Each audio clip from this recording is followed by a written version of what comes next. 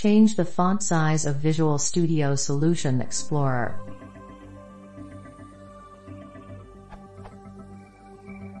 In Visual Studio 2012 in my case, is it possible to decrease, or increase, the font size of a user's Solution Explorer?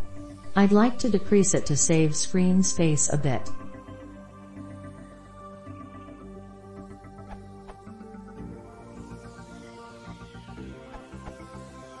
Go to Tools and GT, Options and GT, Environment and GT, Fonts and Colors. In Show Settings for Chose Environment Font.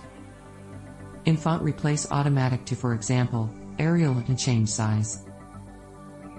Change the font size of that setting, all font size in the Explorers, Solution Explorer, Server Explorer and Toolbox, and menus will change.